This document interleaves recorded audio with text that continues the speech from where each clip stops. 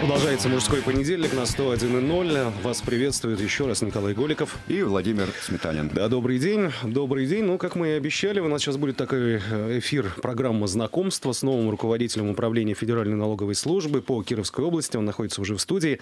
Денис Мехов. Денис Александрович, добрый день. Всем здравствуйте. Да. Добрый день. Ну, давайте знакомиться. Так, немножко биографической информации. Вам 38 лет. Вы наш, как принято говорить. Нагорский. Вятский, в Нагорске, в Нагорске родились. район Нагорский, кстати, да, высшее экономическое, юридическое образование. С 2003 года в течение 10 лет работали в инспекции Министерства России по налогам и сборам по городу Кирову. Ничего не путаю. Все так. Все верно. Затем 13-14 год зам начальника юридического отдела управления Федеральной налоговой службы по нашему региону. Затем 14 и 17 год начальник правового отдела. УФНС, по Кировской да, области. Да, ну и получается, что в Мариэл-то вы совсем не, немножко поработали, да? Вот. Зима, часть зимы как раз чуть это... побольше года. Да, Чуть исполня... побольше года, да. А, нет, чуть побольше года. Да, да с января 2017 года он Исполняющий обязанности или э, Нет, я полноценный? был заместителем руководителя. Зам руководителя. Заместитель руководителя. Да, ну и вот... э, То есть как бы такое знакомство-то, человек-то вообще-то наш. Ну И да. он здесь совсем недолго отсутствовал. И так вот говорить, что кто-то новый к нам приехал, я бы, наверное, даже как-то и неудобно. Ну, принято считать, что Республика Мариэл, как в сравнении с Кировской областью, там, ну, простым языком выражаясь, там дела как-то похуже обстоят еще, нет, с точки зрения финансов? Не уверен. Нет? Нет? Не уверен. Вот если сравнивать сейчас как раз-таки два региона, с этого если начать. Если Александр сравнить два да, региона, да. то так уж совсем грубо, если говорить, если мы поделим Киров пополам, Мгм. Кировскую область, то это и получится Мариэл. То Мариэл. есть все показатели там в два раза меньше, чем в Кировской области. Там 700 тысяч населения, чуть меньше. Во всей республике, Да. соответственно, да? Да, то есть она в половину как раз Кировской области. 680 тысяч, если не ошибаюсь. Мгм. Ну и вот вы пришли работать э, начальником нашего регионального управления. Ну, какие цели, задачи сейчас перед собой ставите? Или они подставлены уже вышестоящим руководством? Но если говорить про цели и задачи, то здесь необходимо отметить, что Федеральная налоговая служба является органом исполнительной власти. И, естественно, те задачи, которые ставит служба перед территориальными налоговыми органами, они определены, в принципе. И были поставлены на итоговой коллегии, которая прошла как раз-таки буквально по завершению 2017 года. Ну, можно выделить три основные задачи, которые стоят на сегодняшний момент перед нами. То есть это наполнение бюджета всех уровней, то есть это взаимодействие с применением новых систем работы информационных, которые есть у службы и которые развиваются. Ну и, наверное, самая такая приоритетная задача, которая стоит перед нами на сегодня, это э, улучшение климата взаимодействия бизнеса и госорганов, то есть непосредственно налогового органа. Улучшение климата. А нынешнее состояние этого климата? Если так вот давать оценку более-менее свежим взглядом так, на налоговую атмосферу в нашем регионе. Но я не скажу, что регион является каким-то проблемным, что у нас есть какие-то такие очень неразрешимые там проблемы. То есть в любом случае, да, там есть отдельные моменты, над которыми нужно работать, потому что э, не бывает проблем только там, где ничего не делается. Ну вот какие-то особенности в плане там, ну, вот уровня собираемости налогов, да, там, или вот что-то такого плана есть, вот, который отличает, например, Кировскую область от Мариэла? Если говорить по собираемости, то, наверное, нужно начать с э, общих цифр. Я бы сказал, что на территории Кировской области зарегистрировано чуть менее 34 тысяч юридических лиц и чуть меньше 33 тысяч индивидуальных предпринимателей. Если быть точнее, то 33 700 и 32 700 индивидуальных предпринимателей. 75% из них это субъекты малого бизнеса, и порядка 800 тысяч – это налогоплательщики, которые являются физическими лицами. Если говорить по общему поступлению, за 2017 год в бюджеты всех уровней поступило 73,5 миллиарда рублей. Если сравнивать с 2016 годом, то динамика составляет 4,6%. Это достаточно... Плюс, плюсом. Плюсом, да. Это небольшая динамика, которая Ну, она практически Если- где-то на уровне инфляции, Инфляции, получается, да. да. Э, Если в суммовом выражении, то это 3,3 миллиарда рублей. То есть сразу хочу отметить, что из чего же складываются эти 3,3 миллиарда рублей. Это 2 миллиарда – это страховые взносы. То есть всем известно, что с 1 января 2017 года мы стали администраторами страховых взносов, поэтому нам была передана очень большая задолженность из пенсионного фонда. Раньше пенсионный фонд, а этим Да, раньше занимался? пенсионный фонд. И за счет задолженности, которая образовалась за все периоды работы, мы достигли такого результата. И 1 миллиард рублей, который дополнительно поступил в бюджет всех уровней, это связано непосредственно с деятельностью нашего военно-промышленного комплекса, а именно все это связано было с заказами от Минобороны. Мгм. Заказы идут, люди работают, налоги платятся. Это Ну, мы Соответственно, больше объем работы, Да. больше налогов. Да, это мы э, относить, поговорили относительно юридических лиц. Если говорить про физлиц, то здесь э, хотелось бы отметить, что процент уплаты добровольной в Кировской области составляет 86,4%. Это что такое процент уплаты добровольной, вот если... То есть те имущественные налоги, которые были А, который- начислены, поня- понятно, понял. теперь, то есть да-да-да. самостоятельно налогоплательщики наши, то есть физлицы добровольно, Транспортное имущество, да, транспортное имущество, земля. земля. Земля, земельная еще. Вот, поэтому э, хотелось бы отметить, что А вот эти 86%, это вот, если опять же брать в среднем по России, это где-то Вот на как уровне... раз хочу перейти Да, к да, тому, да. что мы входим в пятерку лучших регионов То есть это хороший в Российской результат. Федерации, и первое место занимаем по ПФО. Здесь сразу же хотелось оговориться, что это не только заслуга налогового органа. Это комплексная работа, которая была проведена с органами местной власти, непосредственно федеральной службы. Очень большую роль сыграли СМИ при освещении того, когда нужно платить налоги, как это можно сделать. Ну и, конечно, необходимо отметить и самих граждан, то есть их активную жизненную позицию и понимание, что налоги платить нужно. А так, для примера, можем назвать какой-то российский регион, где вот самая не- не- низкая, низкий показатель добровольной уплаты налогов? Нет, такой цифры я назвать не могу на сегодняшний момент, э, потому что, так скажем, информация есть по, там, допустим, нашу- нашему показателю, который в Российской Федерации. Вот могу сказать, что мы на пятом месте там, условно. Первое место в Приволжском федеральном округе. Ну, это вот как Да. раз по гражданам. В общей массе на- налогов, вот эти вот добровольные налоги, например, какой процент занимают? Которые с физических лиц собираются? Вот эти вот три, которые мы назвали. Это 4%. 4%. Если мы говорим про бюджет не- в общем, не, да. не основная составляющая Нет, вот этой всей это не массы, да. То есть основная у нас, как я понимаю, обычно это НДФЛ и налог с прибыли предприятий, да? Ну, будем говорить, что основную плату налогов у нас составляет поступление. Это от юридических лиц порядка 90%. 6% у нас э, это уплата индивидуальными предпринимателями, и 4% у нас составляют ну, граждане, назовем так. Вы назвали цифры, да, больше 30 тысяч там юрлица, индивидуальные предприниматели. С этими цифрами что происходит год от года? А Здесь необходимо сказать следующую тенденцию. Количество, оно уменьшается. Почему? То есть работа, которая проводится э, Федеральной налоговой службой, ее территориальными органами, то есть мы говорим о чистоте среды. Чистоте среды именно в плане экономической, то есть на территории того либо иного субъекта. То есть если мы говорим там, возьмем отдельно юрлиц и будем по ним разговаривать, то реально действующих юридических лиц примерно чуть более 10 тысяч. Мгм. То есть То все есть осталь- треть, треть при- примерно, да? То есть все остальные это условно назовем их те э, субъекты, которые финансово-хозяйственной деятельностью не занимаются, то есть ничего не приносят в бюджет, ни в какой там, ни федеральный, ни субъект. Ну, какую-то отчетность местный. они сдают или вообще они обязаны, да, Ну, отчитываться. они сдают либо нулевую отчетность, либо з- заявляют минимальные суммы к уплате в бюджет. Поэтому в этом направлении работа проводится. Если мы сравниваем, там, допустим, берем 2017 год, то порядка 8 тысяч таких налогоплательщиков было исключено из государственного реестра. Почему как бы такая работа проводится? Это связано прежде всего, чтобы те добросовестные юрлицы, которые работают как на нашей территории, так и на территории Российской Федерации у них не было, к ним не было вопросов от налогового органа, потому что мы понимаем, что не всех можно проверить, и поэтому налоговая служба заняла такую позицию, что необходимо чистоту среды поддерживать в каждом регионе. То есть вот это снижение количества юридических лиц, оно в первую очередь связано, если я правильно вас понял, с тем, что вот эти вот организации, как бы спящие или не работающие, или уже не существующие, они просто исключаются из реестра, да? Да, все верно. То есть основная масса вот связана именно с этим. Да. Потому что многие же трактуют так, что вот у нас уменьшилось число юридических лиц. Все бегут. А вот реально бегущих у нас много. Если говорим про цифры, про общие опять-таки цифры, то есть в раскладке э, поясню, что происходит или происходило на нашей территории.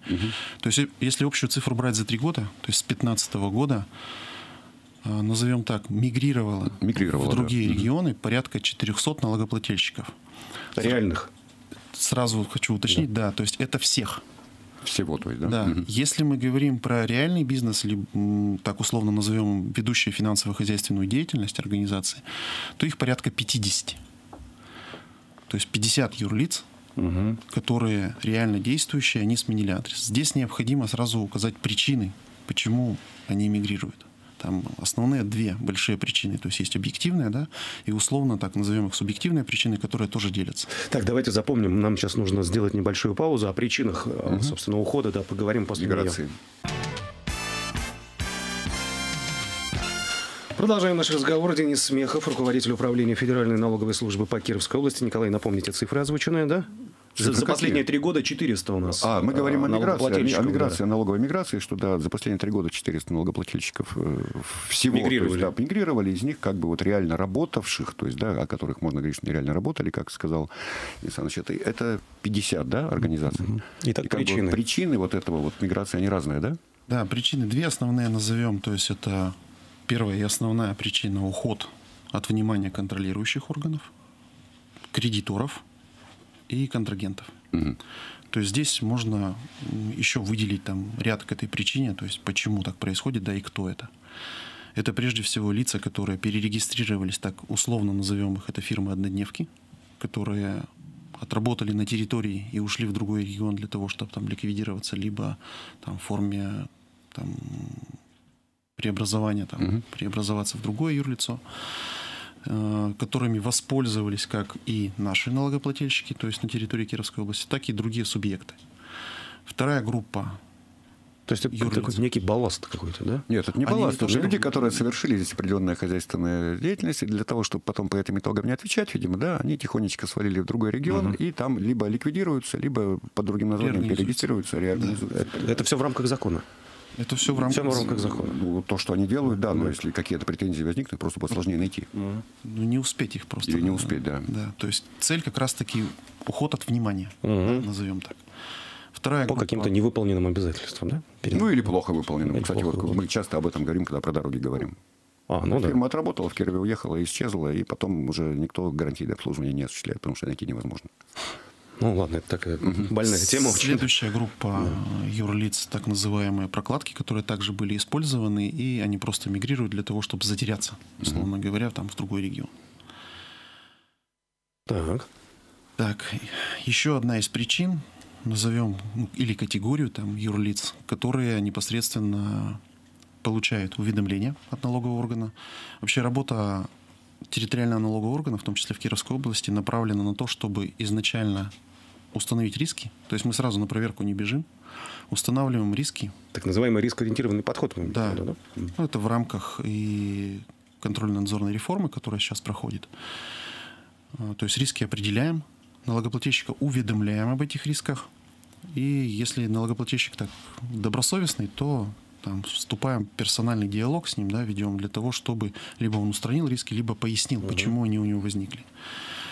Так вот, э, порядка 50% тех лиц, которые эмигрировали, то есть мы цифру обозначили в 50, там, угу. да, ой, в 40, да, условно говоря, 50 ушло, 40 это те, кто как раз-таки уходят по причинам э, того, что мы уведомляем их о том, что у них есть риски в деятельности, им необходимо уточниться. Угу. Еще одна из категорий – это те, которым назначается выездная проверка, они тоже уходят. Их в спешном порядке. Да, их немного угу. меньше. Ну и совсем единицы, те, которые проверки завершены, по которым тоже уходят. Вот это, так скажем, такие категории, которые непосредственно так, мигрируют, и основания, по которым они уходят. Угу. Вторая же причина, там, основная, почему происходит, происходит миграция, это смена адреса места жительства и перенос бизнеса там, в другой регион. То есть что это такое?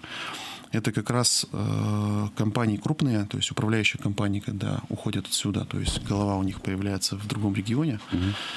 Э, допустим, это концерны определенные. Вот, наверное, основная, основные причины вот такие две. И необходимо сказать еще о том, что в случае, если меняется место прописки, так назовем, да, то есть основной бизнес, э, мощности производственные, люди, они остаются на территории Кировской области. Поэтому бюджет Кировской области он, э, то есть те суммы, которые поступают непосредственно с этой территории, они не уходят никуда, они в тот регион не уходят, они остаются... Все сто процентов налогов? Они остаются здесь. За исключением, может быть, э, налога там, на движимое имущество, вот сейчас как бы, да, угу. один процент, либо налога на имущество. Часть очень небольшая может там уйти в другой регион, но это опять-таки от учетной политики предприятия зависит. И еще такой момент хотелось бы обозначить, что даже после проведения выездных проверок, после назначения ряд организаций, у которых были проведены проверки, начинает исчислять и уплачивать в бюджет, в том числе Кировской области, в значительной большей сумме налоги, нежели чем было до проведения проверки. Угу. То есть, вот, скажем, это... сейчас, сейчас вот смотрите, просто такая тема ну, довольно горячая в бизнес-среде, да, что вот как бы речь идет о том, что надо возвращать предприятия, которые от нас мигрировали, якобы с этим связана наполняемость нашего бюджета. А вы говорите, что вроде бы как от того, что он мигрировал, бюджет ничего не теряет. Такой своеобразный миф получается, да? да. Лукавство.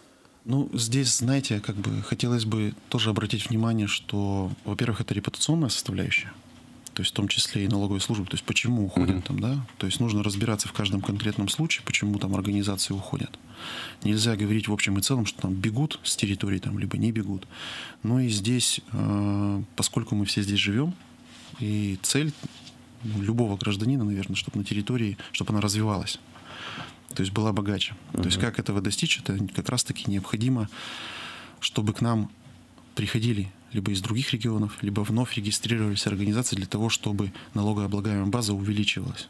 Тем самым э, доходы бюджета увеличатся, и если будем говорить там про дороги, больницы, школы, то естественно, чем богаче регион, тем проще будет решать проблемы, тем комфортнее будет жить на территории uh-huh. субъекта uh-huh. всем гражданам, которые здесь проживают.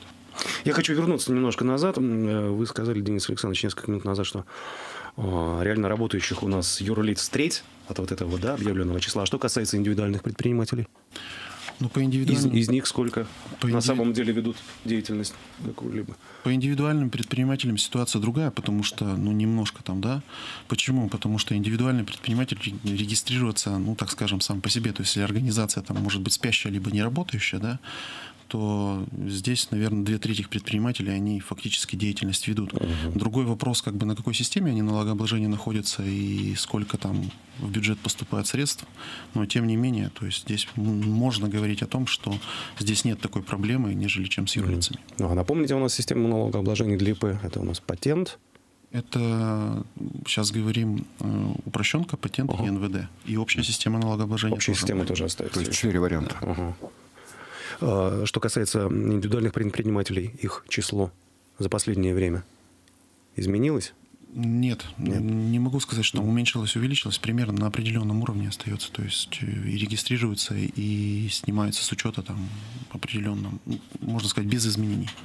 Вот, Денис Александрович, естественно, когда у нас меняется, в любом ведомстве меняется первое лицо, то возникают у людей ожидания, да, вот такие, что вот сейчас придет новый человек, и заживем совсем Новая метла. Да, новая метла, будет мести по-другому, да. И, естественно, у всех такие вот, ну, ожидания возникают, ох, сейчас заживем-то здорово, да. Вот все было до этого неправильно, неправильно, а сейчас все будет правильно. Вот э, на что вот, э, как бы, на что нужно сейчас ориентироваться? Будут какие-то изменения в работе налоговой, на самом деле, какие-то значительные? Или, в принципе, все останется, как было? Ну, на этот вопрос э, вы уже частично ответили, да. Здесь необходимо сказать, что. То есть с приходом одного человека там, или двух-трех человек в ведомство определенное, ну, не просто одного да, человека, а первого человека. Ну, хорошо, первого человека, то есть там, что с завтрашнего дня у нас тут наступит налоговый рай, никому платить не нужно будет, ну, такого не будет. А что такое налоговый рай вообще? Ну, налоговый рай, насколько я понимаю, если брать э, с позиции налогоплательщика, то это как раз освобождение от уплаты всех uh-huh. налогов. Ну, так не бывает. Существенное снижение да, нагрузки налога. Ну, если слово рай, то, наверное, на самом когда вообще до нуля все, да, и вот здорово Просто живем. У рая есть антоним, ад. Поэтому здесь э, необходимо говорить о чем.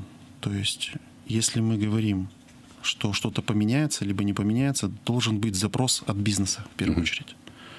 То есть можно придумать там кучу стратегий, мероприятий разработать и там двигаться с одной стороны, но если не будет запроса от бизнеса, то мы не сможем достигнуть там, компромисса определенного либо диалога с бизнесом. И второе направление, которое я вижу, по крайней мере, это обратная связь. То есть для того, чтобы что-то поменялось, во-первых, в процессе всегда участвуют две стороны, поэтому мы ждем от бизнеса, во-первых, запрос на изменения. И а втор... вот кто этот запрос может сформулировать, от кого вы ждете? Да, да? В каком формате? Не знаю. Ну, на сегодняшний момент мы уже провели ряд встреч, то есть это на площадке ВТПП, угу. это на площадке регионального отделения Союза промышленников и предпринимателей. На нашей площадке тоже возможен такой диалог, это в рамках реформы контрольно-надзорной деятельности, то есть раз в квартал. Угу. То есть вот я считаю, что как раз-таки на этих площадках э, мы должны обсуждать те вопросы, проблемы, которые возникают у бизнеса для того, чтобы нам меняться, если они чем-то недовольны. Из услышанного от представителей бизнеса вот на этих площадках вы уже что вынесли для себя? Уже ну, начали формулировать этот запрос, который бизнес и посылает. Насколько этот да. запрос обоснован, потому что, сами знаете, часто говорят, вот налоговая к нам просто придирается, условно говоря. Да, вот это такие слова звучат не очень конкретные, не очень то понятные. Эмоционально это понятно? Да, а эмоци... что, эмоционально это понятно, да. да то есть, а что скрывается за этим? Да? Вот эти вот вещи, которые вы услышали, насколько они вот э, оправданы, что ли? Ну, если говорить там о том, что придирается, не придирается, тут необходимо сказать, что налоговый орган э, в любом случае действует в рамках законодательства, которое есть, то есть налогового кодекса, Конституции Российской Федерации. И если мы говорим о том, какие меры мы принимаем, то есть вообще как работаем в своей деятельности, то есть связано это прежде всего с теми инструментами, которые у нас имеются на сегодняшний момент. Это программные комплексы. То есть мы любого налогоплательщика на сегодняшний момент можем посмотреть и установить его риски. Далее мы с налогоплательщиком работаем адресно, индивидуально и будем продолжать эту работу, потому что эта задача стоит нам и поставлена Федеральной налоговой службой. Вот. А разногласия, которые там придираются, не придираются, это такое оценочное понятие, и я Безусловно. думаю, оно будет всегда, потому что цели у нас пересекаются с бизнесом, да, но идут в разных направлениях. То есть, если бизнес основная цель минимизировать уплату налогов, угу там, в том числе и законными способами, то у налогового органа как раз-таки цель собрать столько, сколько должен заплатить налогоплательщик. Угу. То есть как бы тут компромисс довольно сложно найти, получается так вот.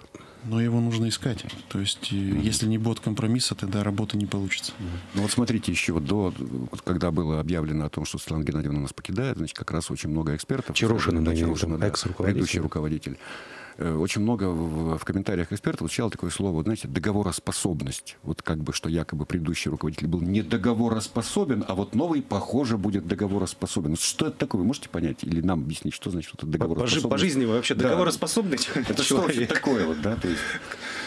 Стремитесь к тому, чтобы найти компромисс, да? Нет, стремиться и найти тоже, как бы мы понимаем, понятия разные там, да. То есть тут можно сказать только о том, что время покажет, но мы будем стараться чтобы находить компромисс. Угу.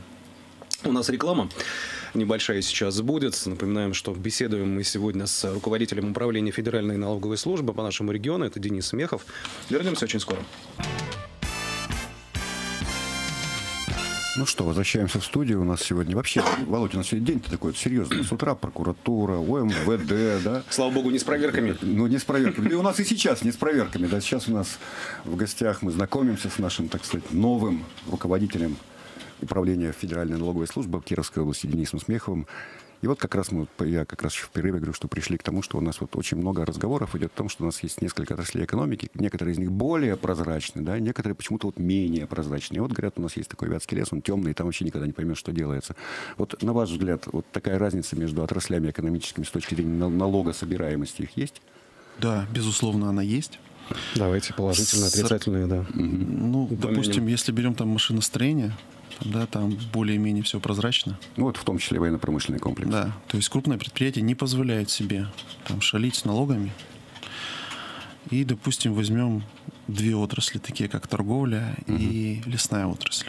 Если мы говорим про лесную отрасль, то чем слав, славен там наш регион, это тем, что вроде у нас есть чем похвалиться, это непосредственно ресурсами нашими. Ресурс, да, 60% лес. территории у нас mm. лесом покрыто. Так вот, по информации, если мы говорим про поступление от этой деятельности бюджет, угу. то он составляет менее 1%. А вот по идее должен быть сколько? Менее 1% от этих вот 40-45 э, миллиардов рублей? Да. Бюджет региона наш. Да. Нет, ну вот так вот. То есть это по, по, по оценке, вот сколько бы он должен представлять составлять? 4%, 10%, там, вот, ну, примерно ну, хотя бы. Мы такую оценку не проводили, каким образом, да, то есть мы можем говорить там о определенных цифрах, то есть там про убытки, да, которые угу. они там получили, еще что-то там каким-то образом, но могу прямо заявить и ответственно, что, допустим, порядка там 4%, 10%, да, это было бы, я думаю, ну, так неплохо, да, условно mm-hmm, говоря. Да. То есть потенциал есть.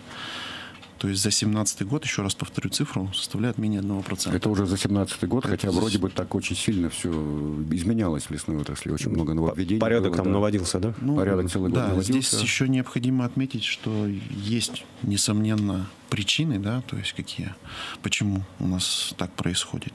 Допустим, если сравниваем там машиностроение, то там 33% бюджета формируется. Если берем там торговлю, 17%. Угу. Если там лесную отрасль, то вот я говорю, менее 1%. Кроме того, э, помимо всего прочего, там, да, то, что такая сумма маленькая, она еще является у нас убыточной. То есть за 2017 год более 1 миллиарда рублей заявлено убытков предприятиями, которые работают в лесной сфере.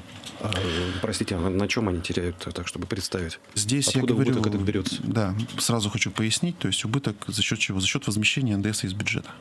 То есть, если мы говорим о перевооружении предприятий, то есть у нас э, есть крупные налогоплательщики, то есть фанерные заводы, угу. которые, в том числе, там, допустим, Мурашинский фанерный завод, который сейчас строится там.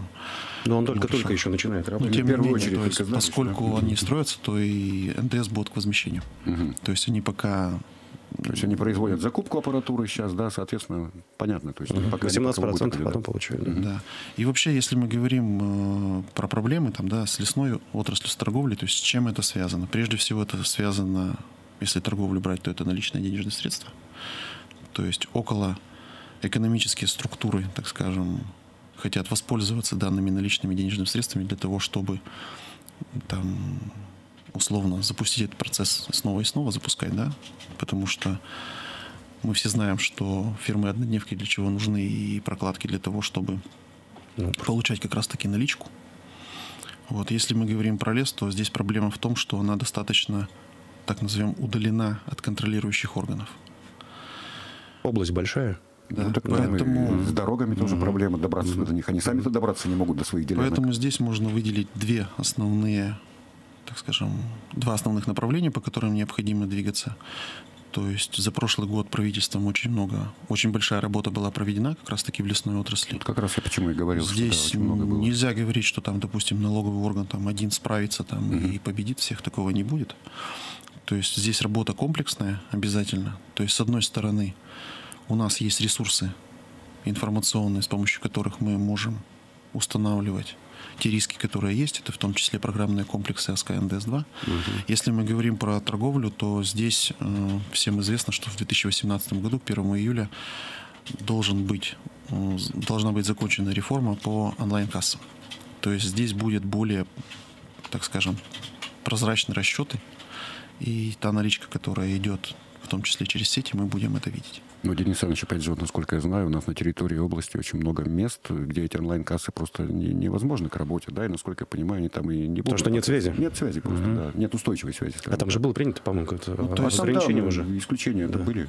То есть мы говорим о том, о передаче. То есть в онлайн-режиме мы не будем видеть ну, та информация, которая будет на фискальных накопителях. Мы, угу. естественно, и будем обладать. И еще такой маленький нюанс. Если мы говорим о крупных сетях, и крупных сетках, то они расположены, как правило, либо в районном центре, угу либо в городе Кирове. То есть здесь проблем с этим нет. С ними и, нет.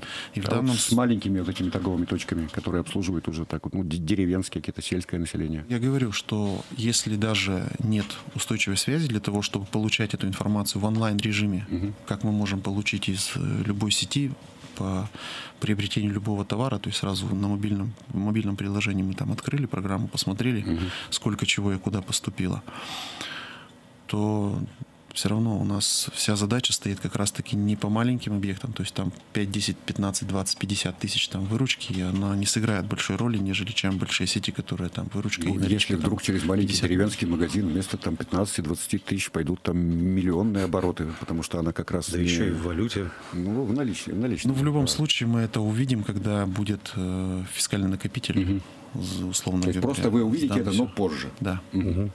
То есть не будет проблемы. Да, вы в самом начале сказали, да, что одно из важных направлений это вот э, развитие информационных да, технологий в этой сфере. Что еще вот сейчас, кроме обозначенных комплексов?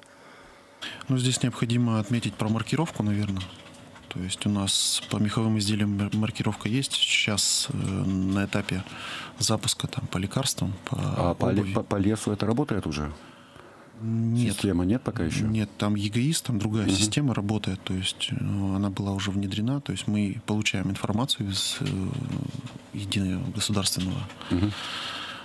из единой государственной системы, то есть, но здесь тоже как бы нужно отметить, что поскольку она была запущена не так давно, там есть определенные сложности про получение информации и прежде всего необходимо отметить, что если говорим про эгоист вообще, то нужно начинать для того, чтобы там установить, допустим, какой объем был древесины вырублен, то есть mm-hmm. мы начинаем с самого начала, это непосредственно с делянки. И в дальнейшем там уже говорим там о распиловке и о процентном выходе там, mm-hmm. какой получится там на пилораме. То есть сколько mm-hmm. деловая древесина, сколько получится пиломатериала, сколько там дров. Ну, то есть пока эта система еще, вот, скажем, на 100% не работает. Ну, сказать, чтобы мы могли отследить угу. с момента заготовки до момента реализации там, пиломатериала, угу. так система не работает. На так, сегодня. На сегодня, угу. да, но ну, в перспективе, я думаю... Да. Те... Потому что иначе-то как лес-то из темноты в свет-то выводить, если вот всю эту систему не просматривать? Ну, поэтому, я думаю, угу. в этом направлении будем двигаться. И в дальнейшем изменения какие-то будут, в том числе и в программный комплекс. Ну, я правильно понимаю, да, что если а, чем больше мы, там, чем глубже перерабатываем это дерево, тем, собственно, больше налогов потом получается, да? Когда мы создаем предприятие, когда мы не просто продаем лес, ну, я бы а производим из него. Не, не завязывал Нет? там на налоги конкретно. То есть мы будем говорить о налогооблагаемой базе прежде всего. Там угу. налоги, они там, не в первую очередь. То есть мы угу. говорим о том, что, во-первых, рабочие места создаются, да, определенные, там, на определенной территории, где угу. непосредственно лес это растет. Ну и, естественно, если глубокая переработка будет, то есть это потребует и увеличения там, производства. Угу расширение, появление нового ну, оборудования. Новые рабочие далее, места, да. новое производство, да, именно налогооблагаемая база расширяется. А потом образом. уже это будет завязано и на сами налоги. Денис Александрович, э, что скажете тем, кто э, такую точку зрения озвучивает? Если бизнесу полностью на свет выходить, бизнес загнется. Вот много-много раз мы слышали да, эту позицию в нашей студии. Позиция, да. да. Ну, я думаю, в данном случае нужно разговаривать с конкретным бизнесом, потому что так в общем и целом сказать, что бизнес загнется, если полностью выходить, то есть это смотря какой бизнес, и угу. нужно проанализировать конкретное предприятие, взять и в каком плане, то есть что ему там, какие условия позволят ему там в дальнейшем не работать, то есть быть убыточным и в конечном итоге прекратить свое существование. Поэтому на вопрос ответить, что если он будет работать в белую, что это будет, это приведет к тому, что оно должно ликвидироваться, но я не совсем согласен с этой темой. Потому что если по такой логике следовать, то и налоги-то платить в принципе не нужно. Ну, если далеко заходить, да, такая ну, да. мысль возникает. Вы знаете, я вспомнил легендарную фразу, сказанную нашим губернатором в прошлом году про умение собирать налоги. А про курицу? Про курицу, да. Вот слишком уж утрировал наш, наш руководитель региона. Ну, насчет того, что бизнес нужно щипать вот как курицу, да, да чтобы, чтобы она, пищала, чтобы да, она кричала, но не умирала. Да. Ну, я не знаю, насколько уместно будет давать комментарий по этому поводу, там, сравнивать бизнес наш с курицей там, условно. Нет, все-таки налоговая служба, ее деятельность направлена на диалог с бизнесом. Щипать мы никого не собираемся. Тем более там, сравнивать с курицей бизнес как-то, ну, я не знаю. Нет, ну это тоже просто эмоциональная фраза была, угу. понятно. Она там вырвана из контекста, да, на мой взгляд, да. немножко была. Да, Поэтому, там. да, скорее всего, суть была как угу. бы не в этом. Угу. А так мы в диалоге с бизнесом должны быть для того, чтобы те вопросы, те задачи, которые стоят перед нами и перед бизнесом, мы их должны решить. Как сейчас будет выстраиваться вот эта а, а, организационная эта работа обсуждения наболевших проблем, актуальных проблем? Насколько часто вы собираетесь встречаться с предпринимателями? Где? Ну, вы сказали, да, я еще раз повторюсь, что запрос, запрос я жду от э, бизнеса непосредственно, да, что, что ну, ему на, площадь, на площадках, которые, на которых я уже был, то есть по мере необходимости возникновения вопросов бизнеса, мы открыты, мы в любой момент можем прийти на любую площадку, обсудить вопрос. Кроме того, хотелось бы отметить, что а, бизнес может самостоятельно обратиться в любую налоговую инспекцию, то есть если возникли вопросы, и непосредственно там записаться на прием к руководителю, либо там к любому из заместителей руководителя для того, чтобы решить. А это вообще сложно к вам на прием записаться? Нет, не сложно. То есть у вас есть Николай, как, как, хотите записать кого-то? Нет, нет, нет, нет, просто мне интересно. Вот вот, да. Я вот выйду из студии, мне скажут, тут, а, я скажу, а вот очень, очень просто, позвоните вот туда, и вас запишут, да? Есть такой алгоритм? Да, такой алгоритм есть.